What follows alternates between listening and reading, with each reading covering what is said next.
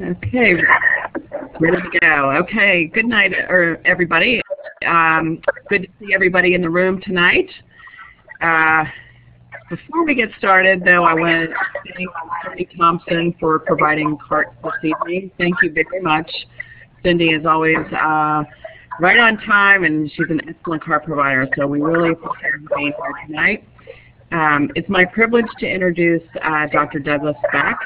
He, uh, I know you can read the entire bio on our website, but I just wanted to mention that he is writing an article for the January-February issue of Hearing Loss Magazine, and I'm excited about that because his, uh, he's a prolific writer. He's an excellent writer on topics related to hearing loss and audiology. So we're very excited about that. And um, I'm happy to report that he has submitted a paper for um, HLAA 2017 convention in Salt Lake City. So keeping my fingers crossed that that is accepted and uh, that he'll be presenting.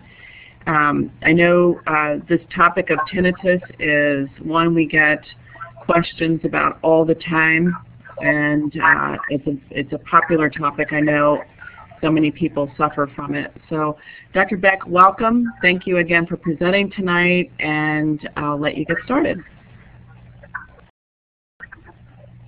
Thank you, Nancy. Um, it's a uh, pleasure to be here, even though I can't see any of you. It's uh, it's just like sitting here and speaking to my computer, but I guess that's okay. Um, the overriding thought that I want to give you about tinnitus is that no two people perceive tinnitus the same way. Um, there are many different types of tinnitus, many manifestations, and uh, the fact that two people may have tinnitus and may describe it very similar doesn't mean it's the same because our perception of sound is a unique individual experience. So let's start with the first slide. And my, my, my plan is to go uh, just under an hour, probably about 50 minutes or so.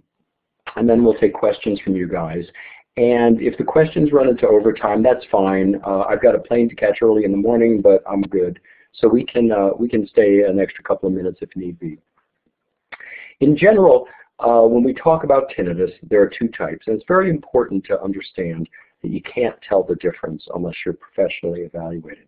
Now the reason I say that is many times people will present, they'll come into an office and they'll complain about ringing in the, in the ears. And indeed, if it has a physical origin. It could be that their ear is full of wax. It could be a broken eardrum. It could be the three little bones, the malleus incus and stapes, have become damaged. Lots of reasons that people can have tinnitus that are physical, and that's called objective. Now the good news with objective tinnitus is that we can fix it. If you see an audiologist or a hearing aid dispenser and they think your tinnitus is objective, that means it has a physical source They'll probably refer you to an ear, nose, and throat doctor, and he or she will examine you and perhaps offer medicine or surgery or whatever is appropriate at that moment. Unfortunately, only about 3% of all tinnitus is objective. So that means 97% is subjective. Now subjective tinnitus has a couple of good and bad things about it as well. Um, the good news is subjective tinnitus is unlikely to cause uh, any physical damage. And the good news is that up to about 90% of the time, and you know, I, I've shown the data on this to many audiences, but uh, and, I don't have the time to, to share it with you, but I'll give you the summary. And the summary is that probably 90% of the time, people who have tinnitus can be effectively managed.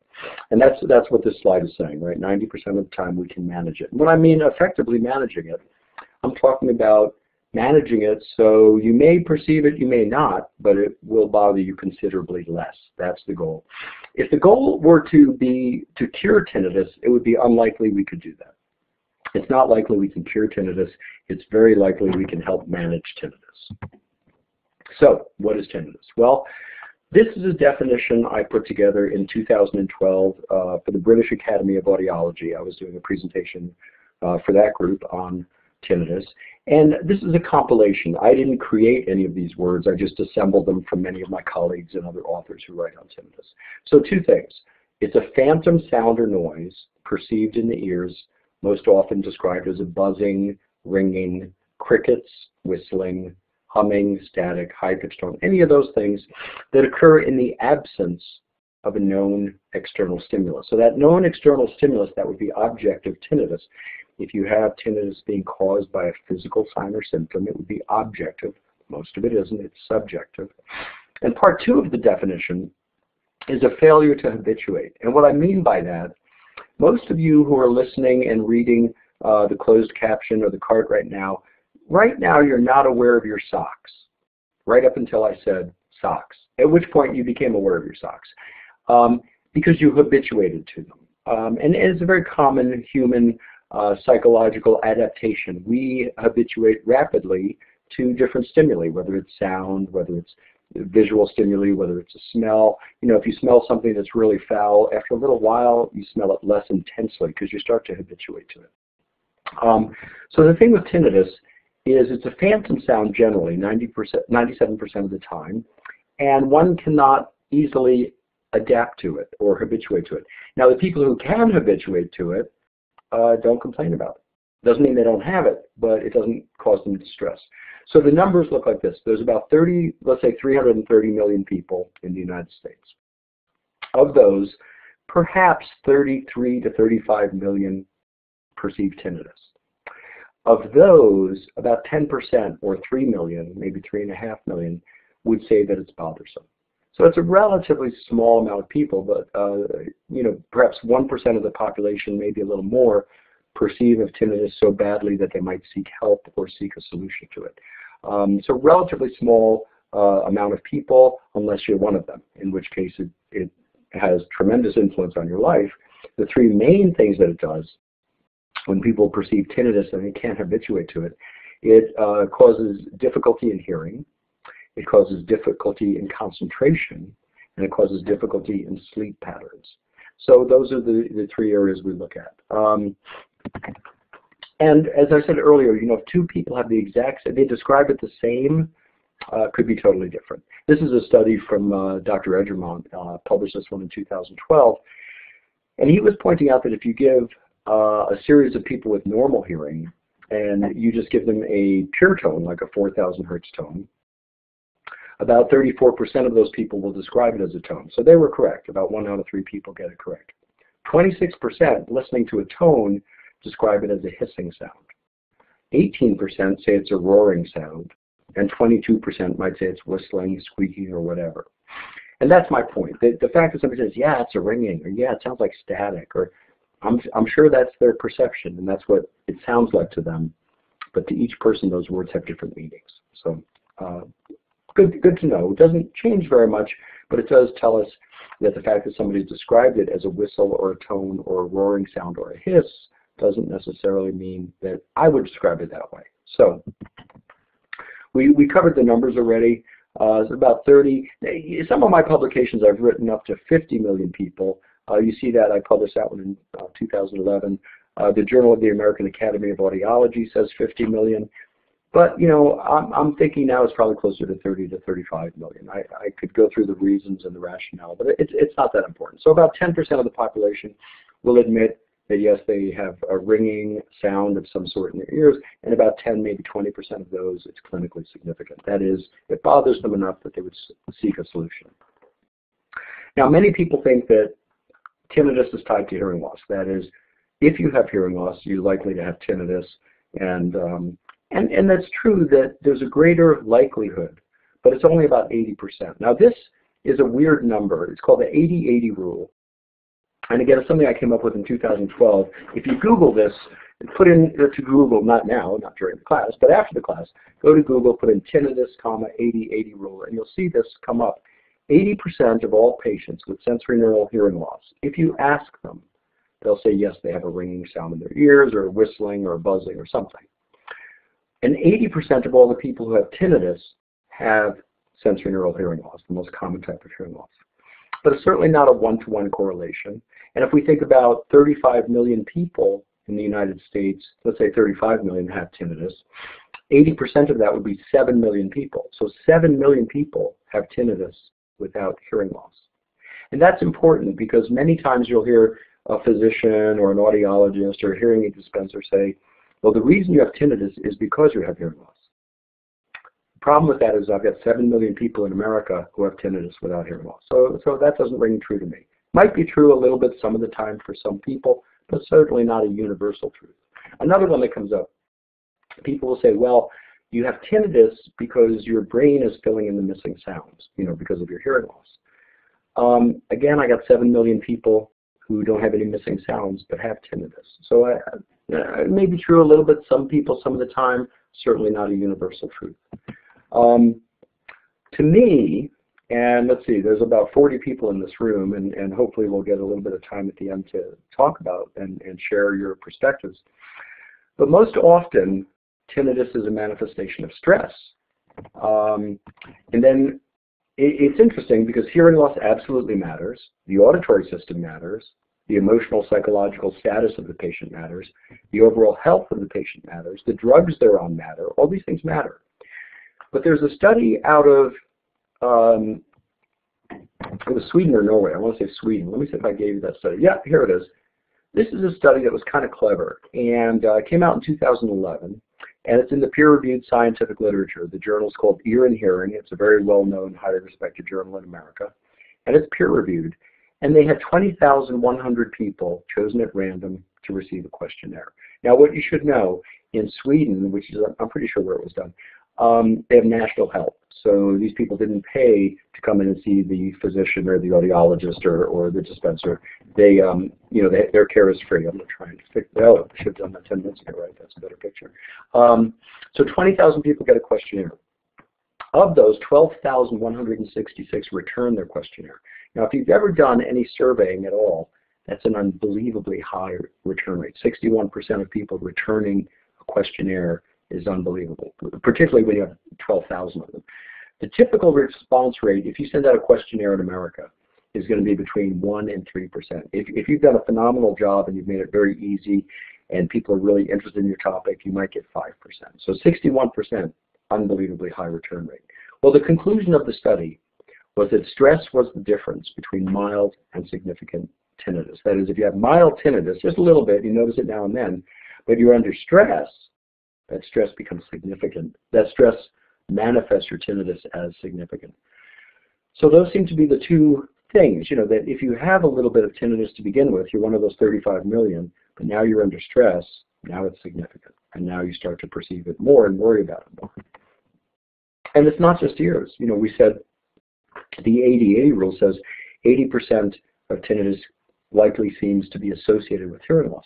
But it could it could come from anywhere. It could come from visual issues. It could come from somatosensory issues. It could come from tactile issues. It could come from anywhere in your brain, anywhere in your body. I know that sounds a little bizarre, but if you look into the research literature, there's many, many people who've made this claim. And it's the idea of something called synesthesia. Now, synesthesia is when we perceive one sensory system, like vision or hearing, for another. Now that may seem a little bizarre, but if you Google that, you'll find out that one out of about every 200 people is synesthetic. So they might get a visual stimuli or a tactile stimuli, and they perceive it auditorily. So I, because of time, I'm going to leave it there. But, but I think you get the idea. It's not just coming from ears. Uh, it could be a lot of different systems that contribute to the perception of tinnitus. Because what we experience is not just a product of raw sensory input like audition or vision or smell or taste or tactile.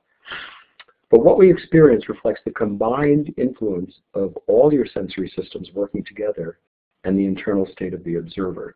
Now this is a, uh, a note I took from uh, Dr. John Sorensis at uh, University of California, San Diego. He's a clinical psychologist.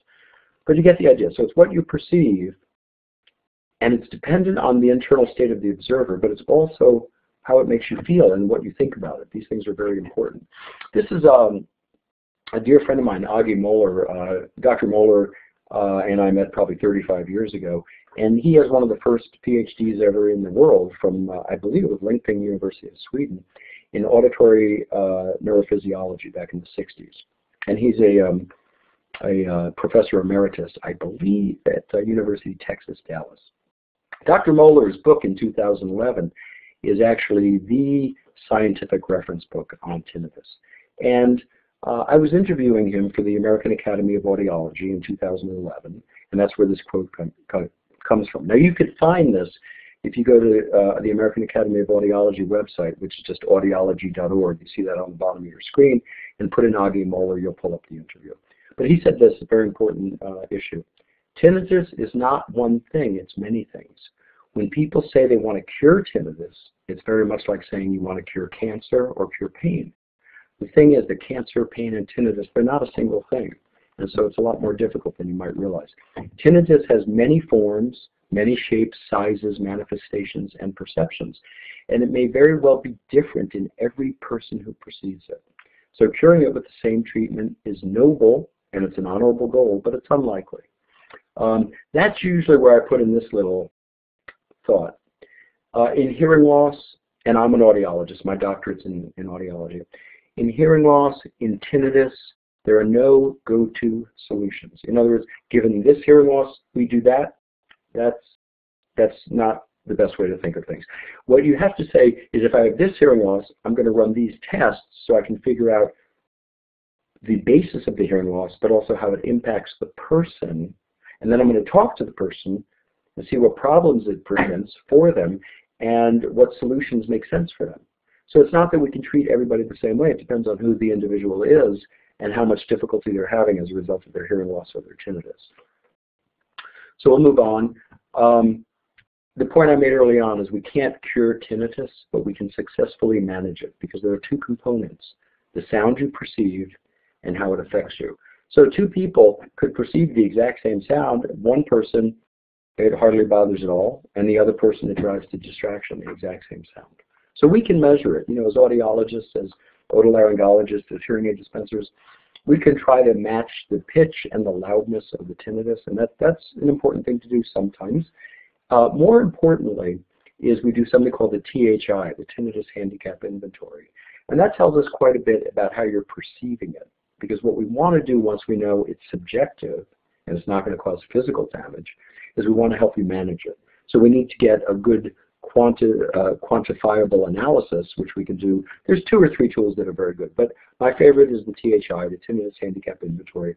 It's about 25 questions that I would ask you, you would answer, and then I would give you a score. And that tells me how uh, disabling or how severe or how significant that tinnitus is to you. And that's then what I want to manage. I'm hoping that if I manage you successfully, a couple of months later we can do the THI again and you'll have a much lesser score, a much lower score. We talked about this earlier. This is from uh, Rich Tyler. He's a professor at uh, University of Iowa. And in Rich's work, he said early on, this is in 2011, uh, the same thing I told you earlier, that when you have tinnitus that's very significant, it's going to impact your hearing, about 39% of patients, concentration, about 26% of patients with tinnitus say it's so bad they can't concentrate well, and it's going to interfere with sleep in about one of five patients. But in 2014, Dr. Tyler added to this, very, very clever, he said, but you know what? It impacts your thoughts and emotions 100% of the time. So the tinnitus patient really cannot adapt to it. And simply saying something like, oh, everybody has tinnitus, you have to get used to it, that doesn't really help anybody with tinnitus. And, and it's kind of an inappropriate thing to say, because if they could get used to it, they wouldn't have come to see you. So how do you know which treatment for which patient? Because quite frankly, there's hundreds of treatments out there. And we try to approach things scientifically. You know, if this is the short list, of course, pardon me, we could talk about all these different treatments, and perhaps if you want to ask questions about them in particular at the end of the lecture, I'll go into them in detail. But the number one treatment of all time for tinnitus is hearing aids. Uh, hearing aids fit excellence, uh, with, with excellence by a professional will control tinnitus the vast majority of the time. It will make it much more manageable because of the 80-80 rule. So think about this. 80% of the people with tinnitus have hearing loss. Well, people with hearing loss are stressed because they don't communicate easily. They have to ask for repeats. They can't remember what's being said. They get confused easily in background noise because their hearing isn't very good. And so the tinnitus that they perceive starts to manifest as a greater and greater and greater problem because it's interrupting all these other things. So if you fit somebody with excellent hearing aids, um, you tend to de-stress them because now they can communicate much more readily. I'll give you just a sentence on each of these. So biofeedback eh, helps a couple of people here and there, not a big solution. Hypnosis, not really. Um, there are some of you in the audience who probably have stopped smoking or lost weight with hypnosis. That's fantastic. I don't say anything negative about that, but I'll tell you that what the scientific literature says is you really wanted to do that, and that, that helped get you over the edge. So it's useful there. That's fine. Is it a big cure of all the studies done with hypnosis and tinnitus? No, not really. It hasn't panned out that well. Counseling, yes. Um, in particular, cognitive behavioral therapy. So the two things that I uh, almost always recommend is people with tinnitus, after we've ruled out anything medical, uh, you know, surgical or medically uh, controllable, then uh, the two things are hearing aids and counseling. Because uh, there are some people who have horrible tinnitus that I'm not going to put a hearing aid on for some reason, but they would probably do very well with cognitive behavioral therapy. That type of therapy, retraining the brain how to perceive sound is very, very effective. In fact, probably uh, it is the single most effective therapy of all time for the tinnitus patient. And what it does is it restructures, reconceptualizes how the patient perceives and reacts to their tinnitus. Again, we're not going to eliminate the tinnitus, but for the patient who's really bothered by it, if we can give them control over it, that's a magical thing. Habituation, okay. Uh, tinnitus retraining therapy, that's, that's a popular one. Um, and, and that comes from my colleague Pawel Jastreboff, who's brilliant, and I've known Pawel 30 years. Um, I am not a huge fan. I think when he created it a long time ago, about uh, 25, 30 years ago, it was the single most clever, well thought through, helpful model. But now if I had to pick one, I'd probably pick a different one, something called PTM, Progressive Tinnitus Management. And that's a series, uh, it, has got five levels. It's from Dr. James Henry out in Oregon. Progressive tinnitus management is what we use for veterans and um, the, the young men who come back from uh, battlefields who have horrible hearing loss and tinnitus. They get progressive tinnitus management, and it's the most proven in, in the scientific literature. It's the most proven approach to, maintain, to managing tinnitus. So as an audiologist, if I saw you, I'd probably, uh, if you have hearing loss, I'll certainly go ahead and proceed with fit hearing aids to see if that helps out, and it probably will. If it doesn't, I'll pay more attention to something formal like progressive tinnitus management and make sure that we work through all those steps. And the final step in that happens to be cognitive behavioral therapy. So it's inclusive of all these other things. So those of you who are looking for a protocol, looking for an answer, you just want one thing to look up on Google, PTM, Progressive Tinnitus Management, really good. Electrical stimulation doesn't work. Um, remember Volta, 50,000 volts in his ears, and then he you know, fell over backwards and was on his back for about six months. And not a good therapy, not a good way to go. Tinnitus maskers. Well, if a patient says to me, you know, gee, I'm only bothered when I'm about to go to sleep. My tinnitus keeps me up at night. It's driving me crazy. If I had something, a, a different sound, that would be great. Well, then get a tinnitus masker. Go to Amazon, uh, go to Google, put in tinnitus maskers, bedside tinnitus maskers, and you can get these for 20 30 $40 that are infinitely variable and uh, and they're great, and and so that's fine.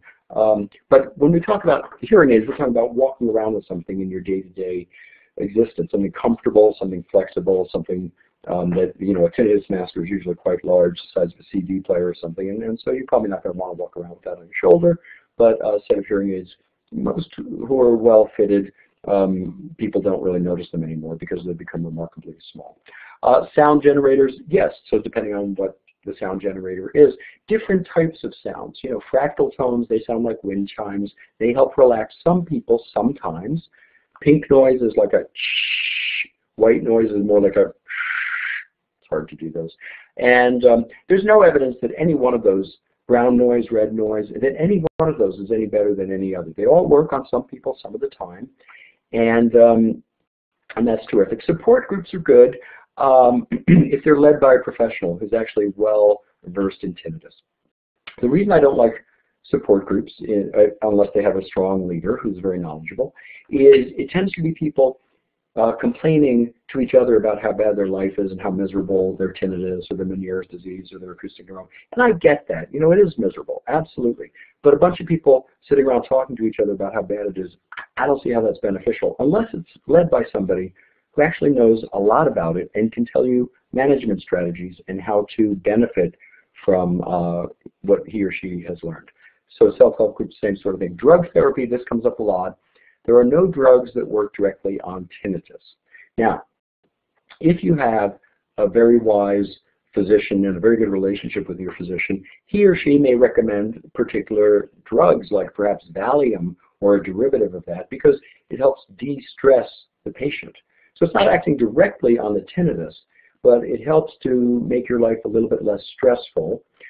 And then you might sleep better and be less distracted. And it might be a part of your cognitive behavioral therapy, perhaps, because it'll, it gives you a bridge between learning strategies and knowing strategies. So drug therapy doesn't work directly on tinnitus, but does help certain tinnitus patients some of the time. Stress management, well, of course, because as I told you, I believe the number one contributing factor to uh, tinnitus is going to be stress. Uh, chiropractic, well, there's absolutely no studies in the peer-reviewed literature showing that chiropractic has ever had a direct impact on hearing loss or um, tinnitus. Um, however, much like pharmacology, if the chiropractor de-stresses you uh, because you feel better, uh, like a massage therapy session might do, well, if it de-stresses you and you're better able to cope with your tinnitus, that, that's a good thing. I wouldn't argue against it but it's not a direct cause and effect between that treatment and the problem. Okay, um, so let's go on to the next one. So which treatment? How do you know which one? You know, we've got millions of people with tinnitus. How do you know which treatment to pick? Well, I'm going to pick the one that's most likely to work most of the time for most of the patients. That's going to be hearing aids. Now, the hearing aids that are available in 2016 have nothing whatsoever to do with the hearing aids that were available 10 years ago or even five years ago. Some patients will say, oh, they tried hearing aids, it didn't work. I would urge them to try it again. The technology has skyrocketed. Uh, we have hearing aids, my company in particular, and I, I, won't make this a commercial thing, but very, very pleasant sounds, like you hear the ocean. Now, some other companies did that earlier, where they had the ocean going out here and coming in here, so the patients would become schizophrenic. No, I didn't say that out loud, did I? But yeah, so what we do, you know, we have the hearing aids talk to each other in real time. So it sounds like the ocean going out and the ocean coming back in. So you have pleasant sounds to listen to. And that, that helps a lot because we're trying to give you a masking sound, an alternative sound to listen to, but we're also trying to give you a sound that's pleasant so it might de-stress you. Now there's a study out of England, and I've shared this with many of my colleagues. You can find this or send me a note and I'll, I'll send you a link to it where the National Institute of Health in the United Kingdom said that certainly the go-to solution, I hate that term, but you get the idea, was hearing aids. Some patients, they said, use hearing aids with cognitive behavioral therapy. And that same working group said if those things, if the patient does not have hearing loss, they would still approach it the same way. They'd still go with hearing aids because it's the most proven treatment for tinnitus and cognitive behavioral therapy. So I can't say put hearing aids on people if they don't have hearing loss. But we do know that hearing aids are very effective in masking tinnitus, and they're very effective in de-stressing patients who have hearing loss. Um, so it might be worth a try. Again, I'm not, and, and that's going to vary by who you see and what their state licensure laws are and all these other things, but it's an option. And if, if patient's not getting relief any other way, uh, I might try it. I, I personally try these sorts of things, and generally they work out well as long as they have a good scientific foundation. Let me show you some of the uh, hearing aid uh, success stories. This comes from the Hearing Review in 2008, so it's already about eight years old.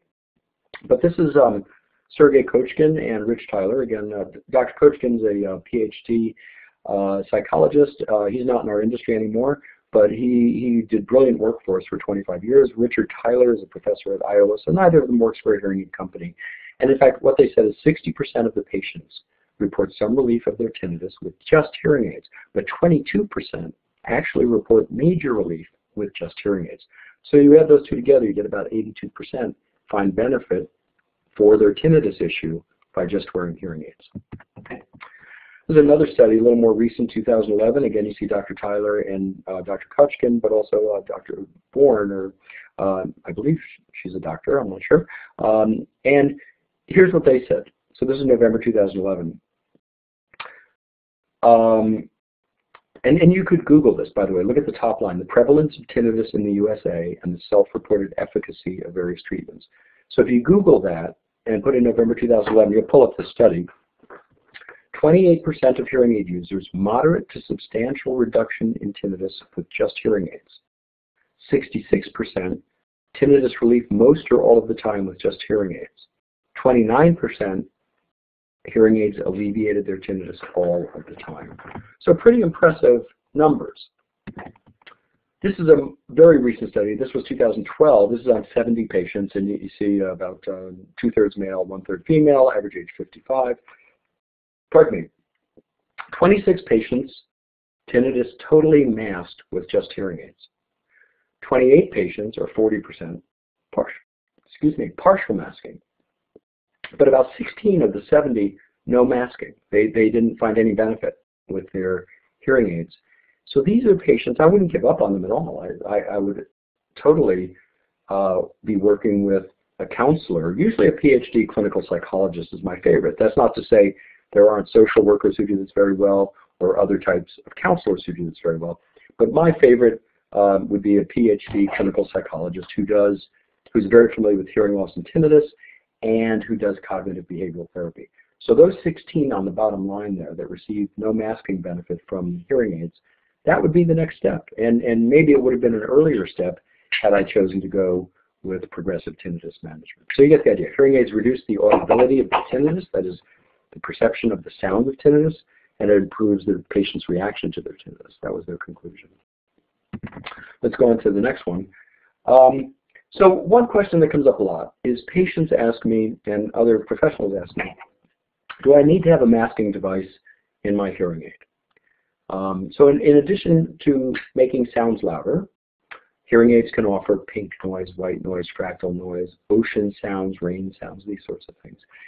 Well, I think that it's good to have it there. I can tell you that, um, and again, not to get commercial, but just so you know, in our hearing aids, the company I work for, Oticon, when we have tinnitus devices within the hearing aids, there, there's no extra charge for them. They're included in most of the uh, most of the hearing aids that, that have those solutions. They, they don't charge for that.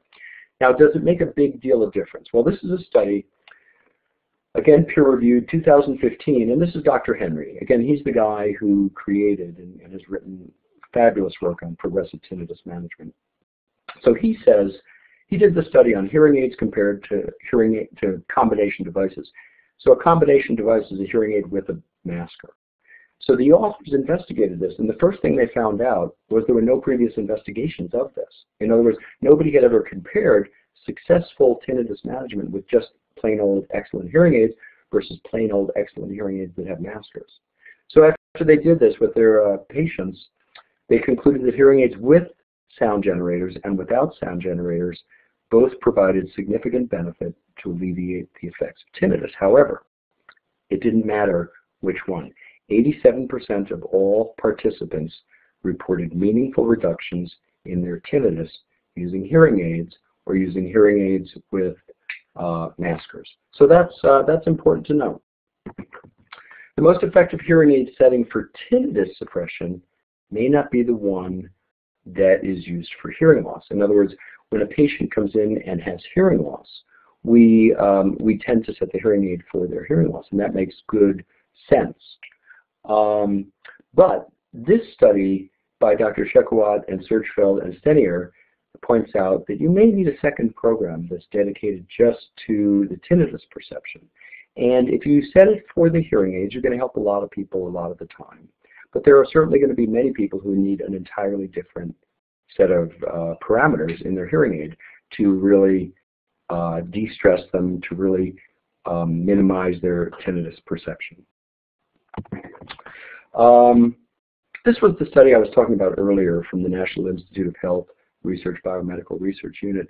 And again, the panelists considered the presence of bothersome tinnitus alone without hearing loss a sufficient criteria for fitting hearing aids.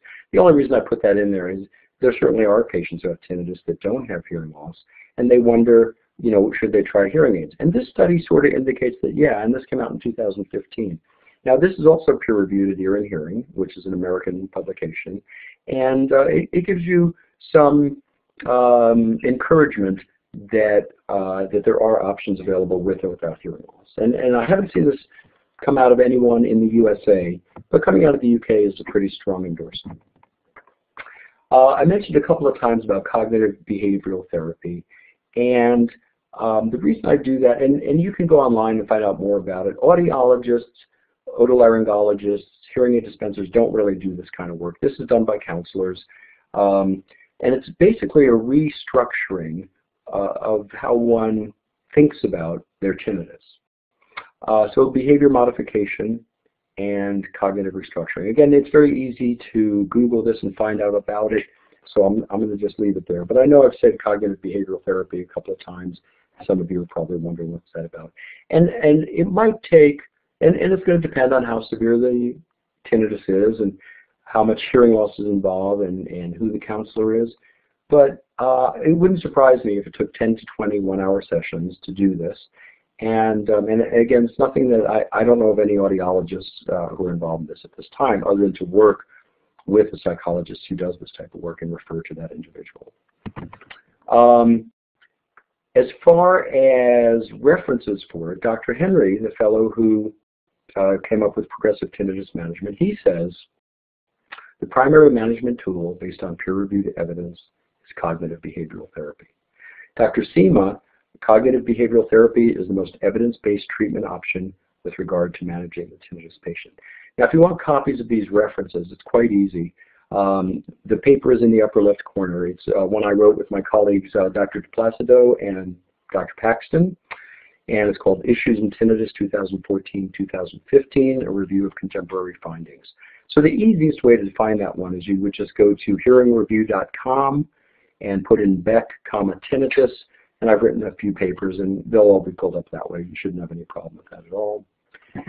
Um, this is, we talked very briefly about tinnitus retraining therapy, and I said it's okay. I, I prefer progressive tinnitus management in 2016, but um, and this is one of the things that, that made me look a little bit beyond TRT. This is a peer-reviewed paper from the International Journal of Audiology. And uh, these guys looked at tinnitus retraining therapy with sound generators, just a sort of a sound, versus wearing open ear hearing aids. And they measured the patient's tinnitus using the tinnitus uh, handicap inventory, the THI. And the bottom line conclusion was it didn't matter if you used a sound generator or a hearing aid. And this is based on 91 patients. So uh, sound generators are good. Nothing wrong with sound generators. Some people do great with them. But again, this is why I think many of us, uh, hearing aid is the go-to therapy because we have a lot more control over the sound you will perceive through a hearing aid. And uh, they actually work very, very similarly. Again, this is peer-reviewed International Journal of Audiology, 2011, 91 patients. And the bottom line here, the specific sound therapy, whether it's a sound generator or a hearing aid, didn't really make much of a difference. They both did pretty well. Uh, PTM, we've used that um, term a couple of times. Let me give you a little bit more on that, and you can find this. Uh, this is a government document. So PTM, Progressive Tinnitus Management, offers strong support for therapeutic sound to manage tinnitus. If it doesn't support any particular sound as superior to any other. Rather, they say the judicious use of sound is helpful. That's the wise use of sound. And, you know, just putting a lot of sound in there is not such a wise thing to do but judicious use of sound because the goal of intervention with progressive tinnitus management is for the patient to learn how to develop and implement individualized plans to manage their reaction to tinnitus. And these plans involve the use of therapeutic sound, that might be a hearing aid or a masking device or a combination, and uh, coping techniques such as um, CBT, cognitive behavioral therapy. This is a um, I, I, used to get a lot more questions on fractal tones. The fractal tones are fine. I have no issue with them. They're kind of pleasant to listen to. They sound like uh, wind chimes. And this is a study that was published by the Journal of the American Academy of Audiology. That's a peer-reviewed journal. And they basically said at the end, for half the subjects, there were 14 subjects, half of them using fractal tones did show a decrease uh, with regard to annoyance from tinnitus after six months. But the authors of the study were unable to determine and this is a very important point, how much of the relief came from overall hearing aid amplification versus how much of it came from fractal tones. So it could have been that the fractal tones were very impactful, and it could have been that the hearing aids. But the, the point is the patients, half of them did very, very well after six months, and that's, that's the take-home message.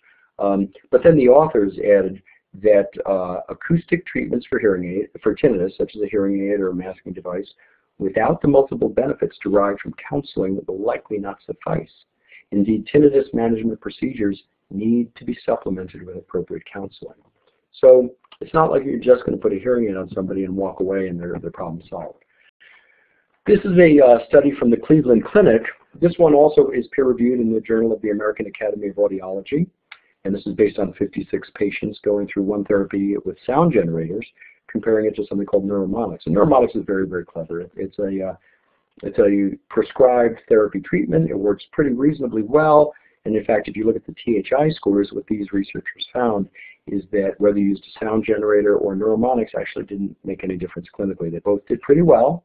Um, the difference was the cost. Uh, those patients uh, who used the sound generator paid about one-third the amount of dollars for every one percentage point of increase in uh, their THI score. So remember we said that the THI score between 0 and 100. So 0 is no perception of tinnitus whatsoever, 100 is maximal perception. So if a patient went from 35 to 34, that might have cost $600 using a sound generator. And using the neuromonics technique, it cost almost 1,800. And that's not to say that there's a problem with neuromonics, because there are times when I would really recommend it, because sometimes there are patients who have a profile that's more um, in alignment with the neuromonics procedure and protocol, and so I would go that way. Um, for some people, they respond very well to tinnitus therapy. Some people don't, as we talked about. One thing that's uh, interesting, this came out in 2014, this is Dr. Theodoroff's uh, work, also peer-reviewed. He talks about if a patient complains that their tinnitus is within their head versus within their ear, uh, and if they have a self-report of hearing problems. So if tinnitus is within their head, if they perceive it as in the head rather than in the ear, they have a three times greater likelihood that we can manage their tinnitus successfully. So that's the good news. The bad news is that only happens about 10 or 15% of the time. 85% of the patients will perceive it in their ear. Interesting research. Uh, this is a um, online survey that came out in 2015 uh, by Carpenter Thompson and colleagues, and it was reported in Ear and Hearing, again peer-reviewed. So 1,030 people, 630 people responded, so that's pretty good. Pretty good. Um, and they were working with the idea that if you had high level of physical activity, like you play golf, you play tennis, you swim, you jog, did that improve your quality of life and lower tinnitus severity? And it seems that it does. Physical activity such as tennis or dancing or swimming had a small but statistically significant correlation with quality of life and reducing tinnitus distress. So physical activity is good. Sitting around the house, not so good. Um, conclusion. So this is, um, if you go to uh, Google and you put in hearing journal, comma, Beck, comma, June 2011, tinnitus, you'll pull up this article. So the conclusions from my 2011 article. Hearing aids in tandem with counseling are beneficial for the tinnitus management up to 90% of the time. Examples of successful management of the tinnitus patient facilitated through hearing aid amplification are voluminous. I, I shared with you all those papers by Kochkin and Rich Tyler and those folks. And, that's what we're talking about. We, we have documentation that hearing aids are very beneficial. Advanced hearing aids, the newer hearing aids, offer alternatives previously not available, such as open fitting, so your ear is a little more comfortable, extended bandwidth, so we go up to maybe 10 or 12,000 hertz in some hearing aids, connectivity, that is you can um, you can hook up your hearing aids to a TV, to a telephone, so it's excuse me, so it's much easier to, to hear because you don't get the background noises prominently. If a hearing aid fitting doesn't work, good news, 100% reversible. You can take them out. And so I concluded that hearing aid amplification is the primary treatment for tinnitus. Um, so my personal recommendations, if we're going to use some sort of masker, water, rain, shower, ocean sounds are excellent. I would recommend don't don't buy a $19.95 device um, because you want something reliable you want something made by a manufacturer who's been making products for decades, if not hundreds of years. Uh, easy to fit, reliable product. There are tinnitus management guidelines. Uh, the American Academy of Audiology has a set, which are a little bit old. They're probably 12 or 15 years old, but they're very, very good. And you can look them up and learn about that as well. The exact protocol for how to manage your tinnitus, TBD, that means to be determined by the professional. Because just telling me you have tinnitus doesn't tell me what I need to do for you. We have to talk. We have to share a little bit of time. I have to get to know how it's bothering you. I have to know what it sounds like. I have to know what problems it's causing, what solutions are acceptable to you, and then I can recommend something. But I can't just say, oh, I have tinnitus, so we're going to do this. Internal motivation matters a great deal. When somebody has tinnitus and they're putting in a claim, a legal claim for financial benefit, probably not going to help them much because their primary concern is sometimes uh, you know that financial benefit, and so it's very hard to dismiss that because that's a very real issue that people deal with. Um, but if somebody is totally you know, distressed by their tinnitus and they really, really, really are open and they don't have any intervening factors, but they're open to solutions and trying things and working with a professional, pretty good chance of success. Uh, placebo does matter, and in this case, placebo would be something that acts to help you um, internally. Remember we talked about John Sorensis and his work from University of California, San Diego, and he said it's not just your ears, not just your hearing, not just any of those things, but your internal state matters. And if we can make you feel better and safer and more secure, that's going to help. Uh, and brains are plastic and they change all the time. So if you tried a very, very serious tinnitus management approach uh, a year ago and it didn't work, you might be uh, surprised to try it again and see that perhaps it would work because your brain changes over time. So those are the formal slides that I assembled, and, and the timing was good. I estimated 50 minutes. It took us 47. Uh, and I have no idea how to turn on the sound, so I'm going to have to let Nancy tell me what to do here, and I'll be happy to take some questions and observations. Okay. Um, it works well that people have posted questions in the um, chat box, and so I'll just go ahead and, and feed you the questions as I see them. The first question is, why do some people have tinnitus okay. even after cochlear implant while others do not have it? That's a great question. Thank you for asking. Um, so tell me if I got this right, because there was a little noise at the beginning. So the question is, why do some people with cochlear implants have tinnitus? Right, after don't? a cochlear implant, yeah. Right. Well, nobody knows the answer to this. This is a fascinating question. You know, the vast majority of patients who get cochlear implants, I will tell you that their perception of tinnitus is much less, and they find that when they're wearing their cochlear implant, uh, tinnitus is much more manageable. Some patients, not true at all. Um, we have some speculation, which I don't want to share with you because it, it's speculation. Um, what I would say is that the best way to handle that is you have to speak to your audiologist and say, okay, the uh, cochlear implant clearly is working fine. I'm, I'm getting auditory perceptions. Is there another program you might offer me that might work a little bit differently with my tinnitus? Because Dr. Beck said that sometimes the best program or the best map for hearing loss may not be the best map for tinnitus. So it's something you can try. I wish I had an answer. I don't know of an answer, and I don't know anybody who has an answer. Um, this is a question we've been looking at now for about 35 years. Uh, cochlear implants were first FDA approved, I believe, in 86. I was at the House Ear Institute, and we were the primary group in the U.S. There are a few groups, but uh, UCSF was involved, a group in Utah was involved, New York was involved, and Los Angeles, I was at the House Ear Institute when implants were FDA approved. And we noticed that exact same observation early on, that some patients had relief of tinnitus, some had partial relief, and some had no relief. And I, the work is still ongoing. I wish I could tell you, but I don't know. Um, somebody asked if you yourself have tinnitus. Um, I truly do not. I am a musician. I have a very, very little bit of high frequency loss, but I will tell you that uh, everybody has tinnitus from time to time. You, you, when you talk to your friends, your colleagues, your associates, and you say, do you ever get a ringing or a whistling sensation in your ear? The answer is almost always yes. But remember the second part of the, uh, the definition is a failure to adapt. So when most people hear tinnitus, it's, it's an annoying sensation. It comes and goes. Whether it's really gone away or whether you've adapted to it is the same effect. It doesn't bother you anymore. So I don't, but I, um, I play a doctor who does.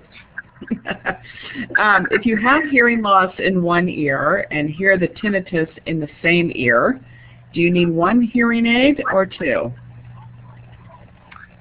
Excellent question. All the time when you receive um, hearing loss or tinnitus in one ear, the very most important thing I can tell you is you need a proper workup.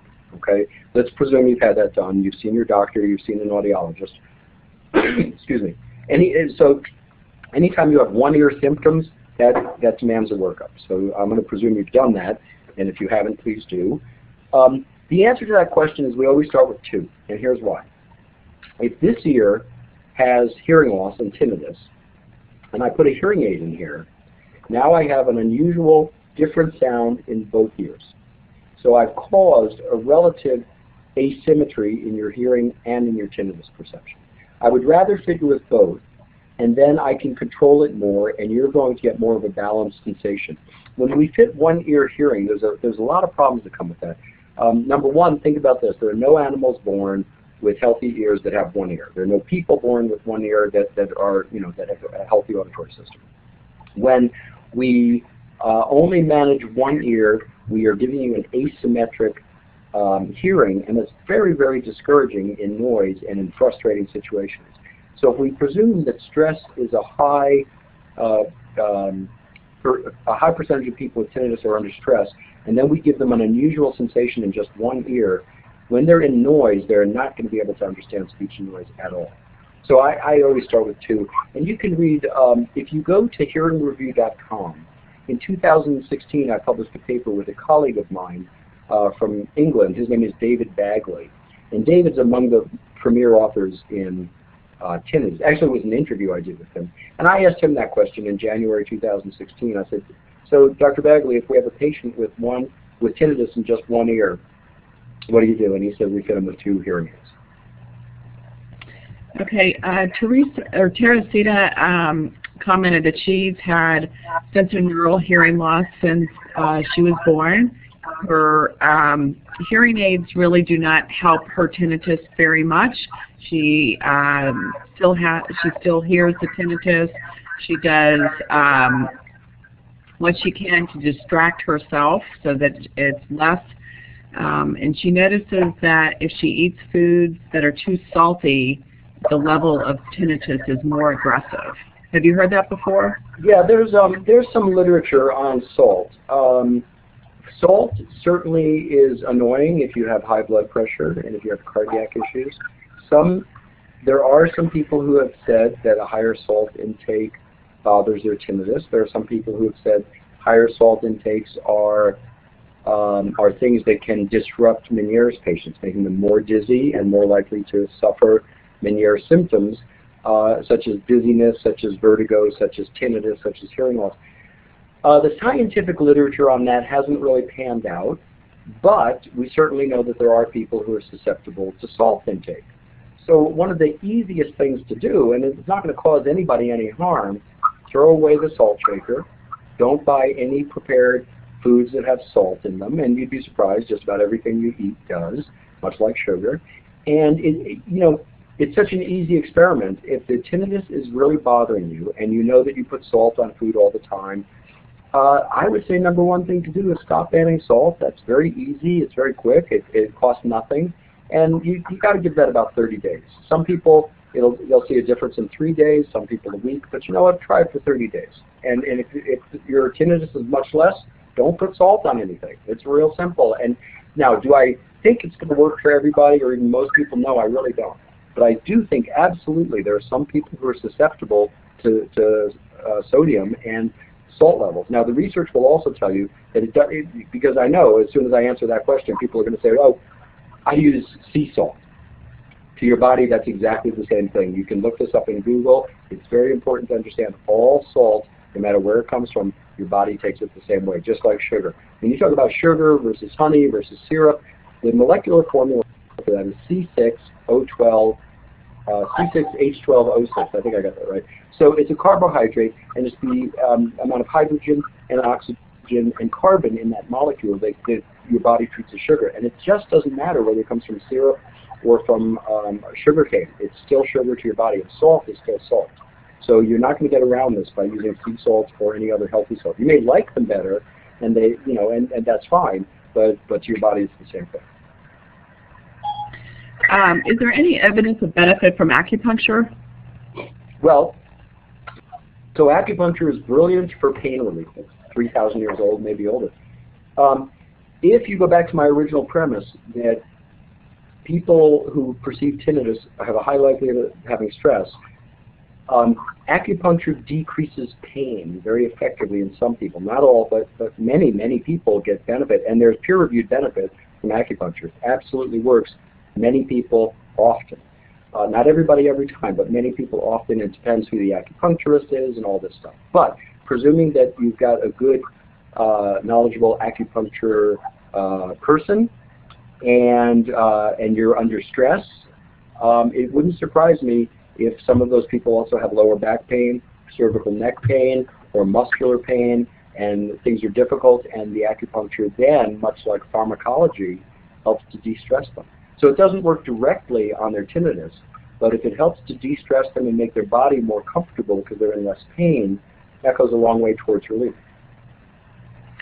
Um, who would you go see about the progressive tinnitus management, uh, the PTM? Would you go see your audiologist or an ENT doctor?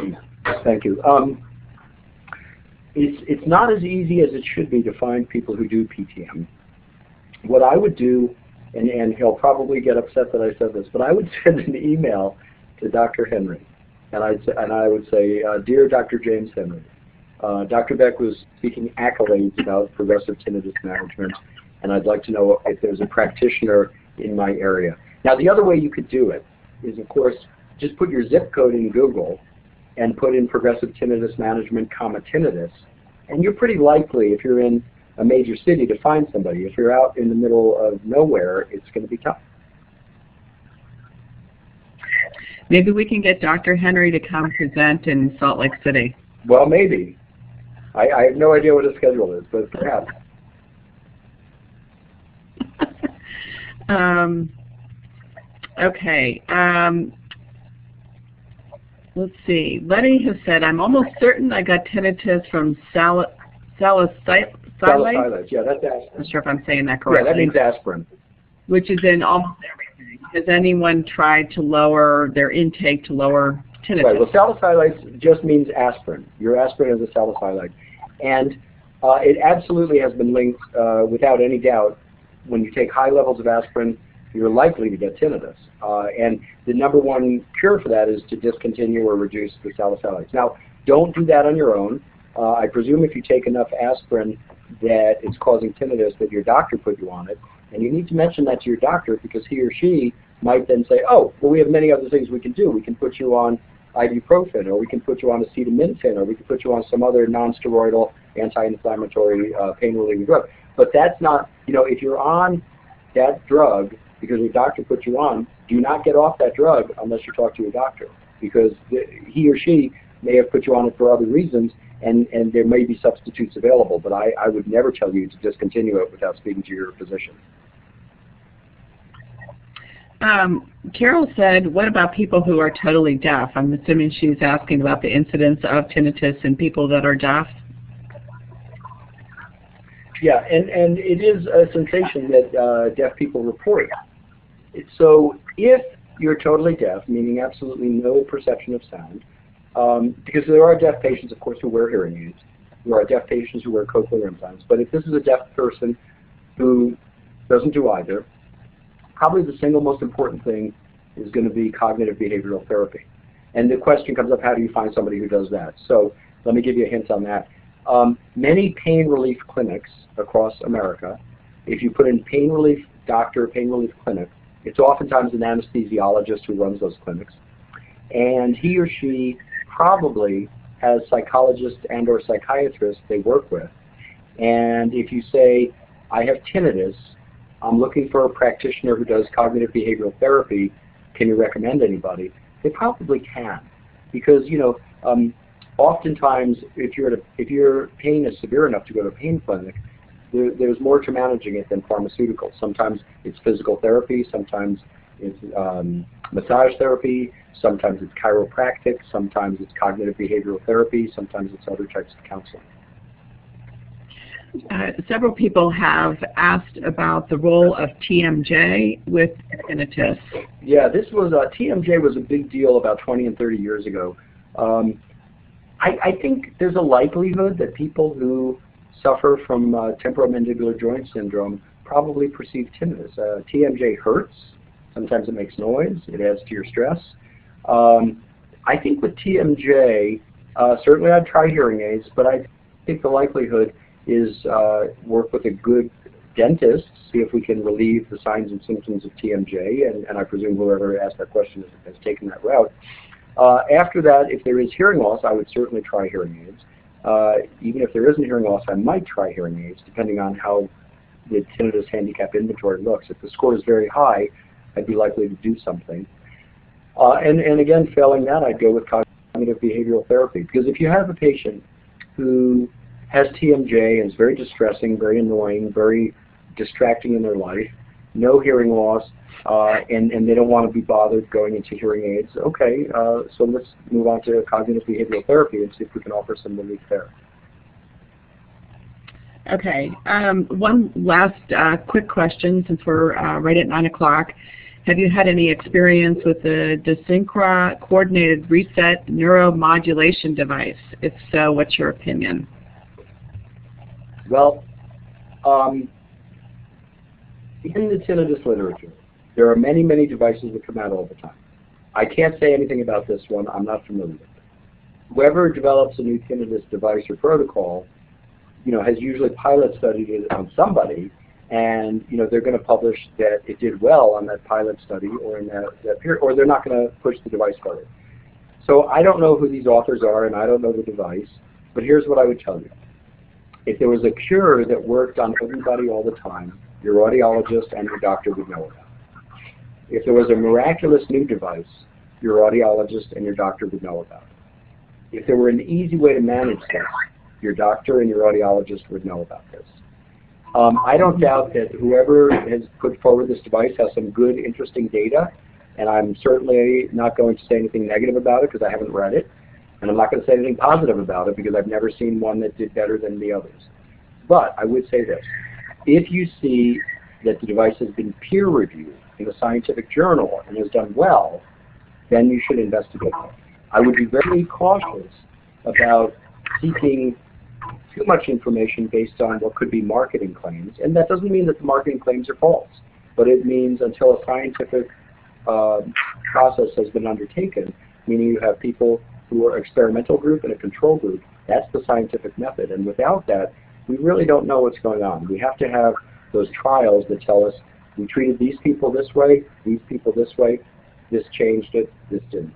So when we have that kind of data, uh, from an independent source, then we can believe it scientifically. Again, I'm not going to say they're bad or good or anything else because I'm not familiar with it, but I can tell you that at least two or three times a year a new device comes out and they always have fantastic claims. And when they're looked at scientifically through the peer-reviewed literature, they, they tend to fall away. So I, I think um, it's good for you to be aware of them and it's good to investigate it. But I wouldn't spend a lot of money until I have some peer-reviewed data showing that the stuff works. Good advice. Um, just wanted to mention that um, for HLAA 2017 convention in Salt Lake City, we have a whole track on tinnitus and noise. So um, I know that it's just one of those things. Besides how to afford hearing aids, it's the question that we get mo most often. What do I do about the ringing in my ears? So I know it's a it's a problem, and um, any workshops that we have, I know will be very popular with a lot of our attendees. Um, thank you, Dr. Beck, very much. Um, I hope that you'll consider presenting again. And for you in the audience, if you enjoyed this webinar, please uh, consider joining HLAA if you're not a member already, and you'll um, be sure to get Dr. Beck's article in the January-February issue of Hearing Loss Magazine. Thank you again to Cindy Thompson for providing excellent carts this evening, and thank you all for attending tonight. Thanks again, Dr. Beck. My pleasure. Take care. Thanks for inviting me. Have a good night. You too. Bye-bye.